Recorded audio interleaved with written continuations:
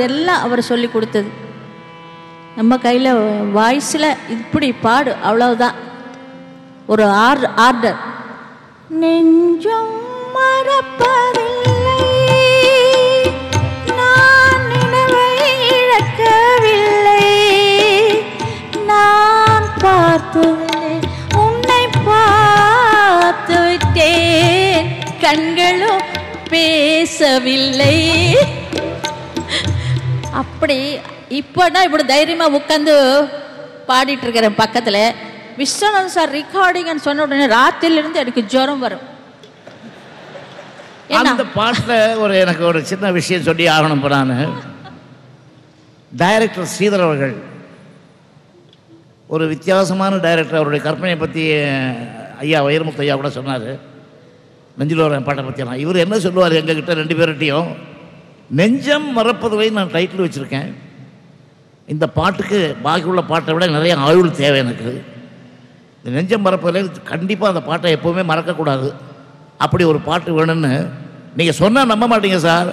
நாங்கள் ஒரு ரெண்டு மாதம் ஒரு முந்நூறு நானூறு டியூனை போட்டு பாட்டை எழுதி அவ்வளோ கஷ்டப்பட்டு பண்ண பாட்டு.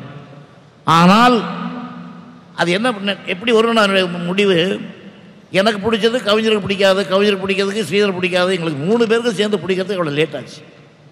ஸோ அந்த பாட்டு இப்போது கடைசி வரைக்கும் பார்த்தா அப்போ கொஞ்சம் வேதனையாக இருந்தது. இப்போ அது சாதனையாக மாதிரி இருக்கு பாருங்கள் அந்த பாட்டு மாதிரி எனக்கு பாட்டு வரல அந்த சுச்சுவேஷன் இது கரெக்டாக நீங்கள் ஒத்துப்பீங்கன்னு நினைக்கிறேன். அந்த மாதிரி பாட்டுகள் நெஞ்சம் மறப்பதிலே இன்னும் மறக்க முடியாது அந்த பாட்டு. அப்படி ஒரு பாட்டு.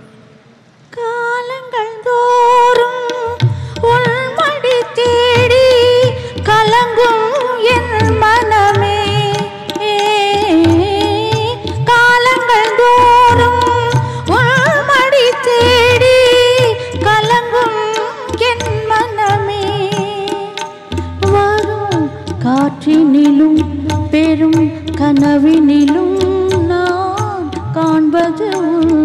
முகமே நான் காண்பது உன் முகமே.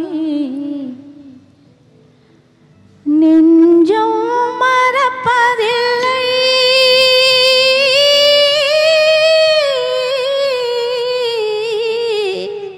ஒரே தமிழ பாடின அப்போ பாடினேன் இப்போ பாட முடியல. வயசு ஆயிடுத்தோ இல்லையோ? ஐயா அவர்கள் என்னிடம் ஒரு விண்ணப்பம் சொன்னார். கவியரசருடைய பாடல்களுக்கெல்லாம் இசையமைத்திருக்கிறேன். இன்று கவியரசுடைய மகள் வந்திருக்கிறாங்க இங்க. இப்பொழுதே மேடையில் தோன்றி உடனே ஒரு பாட்டு எழுதி கொடுப்பாங்க. அதற்கு மெல்லிசை மன்னர் ஐயா உடனே இசையமைப்பார். உங்களுக்கு சம்மதமா? ஓ வருக வருக. அம்மாவும் இருக்காங்க. இது காலத்தாய் மகனே கண்ணீரால் வாடுகிறோம். சோலையிலே மலர் இல்லை சொல் தேடி ஓடுகிறோம். வாராயோ வாராயோ மீண்டும் வாராயோ? வாசல் திறந்து வைத்து வாய் திறந்து பாடுகிறோம். கவியே கவியே ஆசு கவியே கண்ணதாசனே. என்ன மாதிரி ஒரு அதிர்ஷ்டம் உள்ளவனை பார்த்துருப்பீங்களா சார்? எத்தனையோ ஆயிரம் அப்பம் பாட்டுக்கு மெட்டு போட்டவன் இப்போ புள்ள பாட்டுக்கு உங்கள் முன்னால் மெட்டு போட போகிறேன் ஒரே ஒரே ரெண்டு மூணு தரம் ரெண்டு மூணு பல்லை வித்தியாசமாக பாடி காமிக்கிறேன். எது நல்லா இருக்குன்னு நீங்களே சொல்லுங்கள் பல்லை வரைக்கும் அப்புறம் பார்த்துக்கலாம். ரெண்டு மூணு டைப்பாக பாடுறேன். இது கொஞ்சம் இப்படி பிடிக்க முடியுமா தம்பி?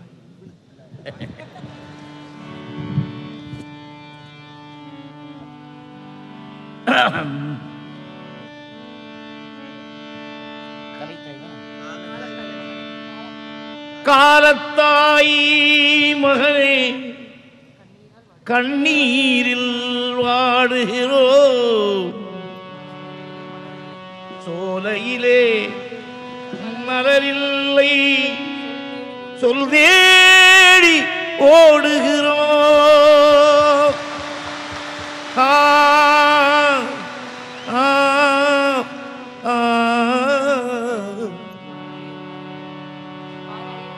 வாராயோ வாராயோ. மீண்டும் வாராயோ.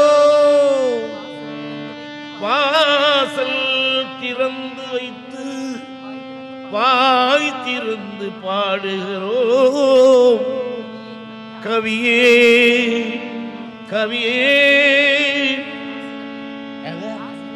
ஆசு கவியே.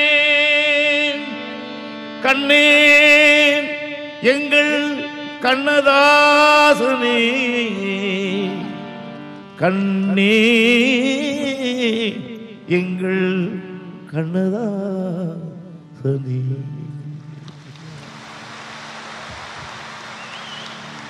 காலத்தாய் மகனே கண்ணீரில் வாடுகிறோம் காலத்தாய் மகனே கண்ணீரில் வாடுகிறோம் சோலையில மலரில்லை சொல் தேடி போடு.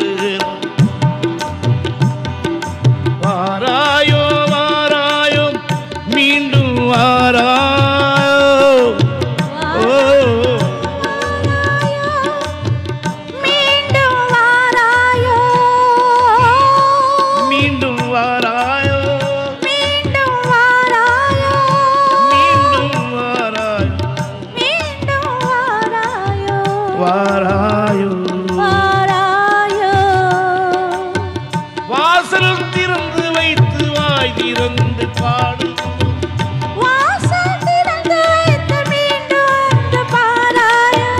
வாய் திறந்து பாடுகிறோம் கவியே கவியே ஆசு கவியே கண்ணா கண்ணா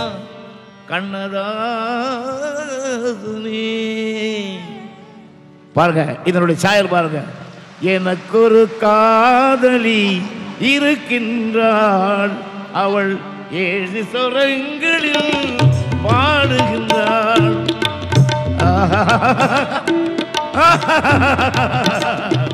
சிரிப்பிலே சொல்றோம் நிசரி நிசரி நிதத பபா மக கபம் அந்த மாதிரி சாயல் இருக்கு. அத்தா என்னத்தா அவர் என்னைத்தான் எப்படி சொல்வேனடி அத்தா என்னத்தான்? அவர் என்னைத்தான்? எப்படி சொல்வே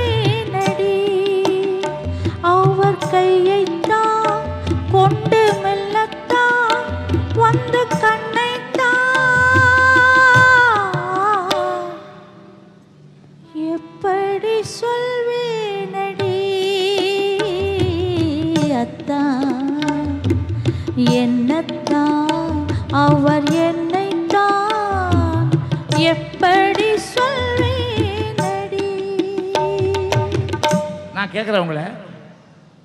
இந்த பாட்டு வந்து மெட்டு கொடுத்து எழுதியிருப்பாரா? இந்த பாட்டுக்கு மெட்டு போட்டனான்னு சொல்ல முடியுமா உங்களால்? எனக்கு ஒரு பெரும் சோதனை அல்லவா வைக்கிறது? அதான். அப்படி தெரியக்கூடாது. இது மெட்டுக்கு எழுதுனதா மெட்டு போட்டு எழுதுனாங்களா இந்த பாட்டுக்கு மெட்டு போட்டாங்க தெரியாத அளவுக்கு அமையணும் பாட்டு. எதுக்காக சொல்கிறேன்னாக்கா இதில் ஒரு விஷயம் என்னன்னா இந்த பாட்டு அவர் என்கிட்ட சொல்கிறார் டேய் நான் ரெண்டு மூணு மியூசிக் லெட்டர் கொடுத்து பார்த்தேன்டா அந்த பாட்டு. இதுக்கு தாளமே வரலன்ட்டாங்கடா. நீ கொஞ்சம் ட்ரை பண்ணு.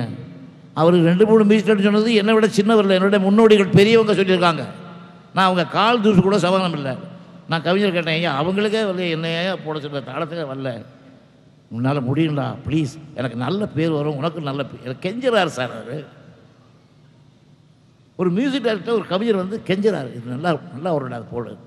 இப்படி பல பாடல்கள் எங்களுக்குள்ள ஊடலோடு சொல்ல மாதிரி கவியரசர் சொன்னார். அது மாதிரி இதே பாட்டு கவியரசு வைரமுத்து எழுதின பாட்டை கேட்டுட்டு அவர் உடம்பு சரியில்லாமல் இருந்தார். இவரை கூப்பிட்டு எழுதி வச்சுட்டு ரெக்கார்ட் பண்ணோம். நானே பாடினேன். பாட்டை கேட்டுட்டு யார் அது வைரமுத்து? நல்லா இருக்காரா பிரமாதண்டா அந்த டைத்திலே பாருங்கள் அந்த ஈகோ இல்லை. சார் அந்த ஈகோ இல்லாமல் இருக்கிறவங்க தான் சார் கலைஞன். ஐயா இந்த அற்புதமான ஒரு வேளையில் இந்த மாலை பொழுதில் ஒரு அருமையான ஒரு நிகழ்வுக்கு சம்மதித்து எங்களுடைய தாய் திருநாட்டிற்கு வந்து உங்களுடைய குரலையும் உங்களுடைய இசையையும் எங்களுக்கு கேட்பதற்கு வாய்ப்பளித்த உங்கள் இருவருக்கும் எங்களுடைய மனமார்ந்த நன்றி. மலேசியா தமிழ் மக்கள் சார்பிலே தெரிவித்துக் கொண்டு இந்த நிகழ்ச்சிக்கு முகாமை ஆதரவாளராக திகழ்ந்து கொண்டிருக்கக்கூடிய எம்பி லிங்கம் நிறுவனத்தின் உரிமையாளர் திருமிகு கலியபெருமாள் அவர்களுக்கும் திருமதி கலியபெருமாள் அவர்களுக்கும் மெல்லிசை மன்னர் எம் எஸ் விஸ்வநாதன் அவர்களும் தென்னக திரை இசை குயில் பி சுஷ்லா அவர்களும் பொன்னாடை போர்த்தி மாலை அணிவித்து உங்கள் சார்பிலே சிறப்பு செய்வார்கள். அவர்களை அன்போடு அழைக்கிறோம்.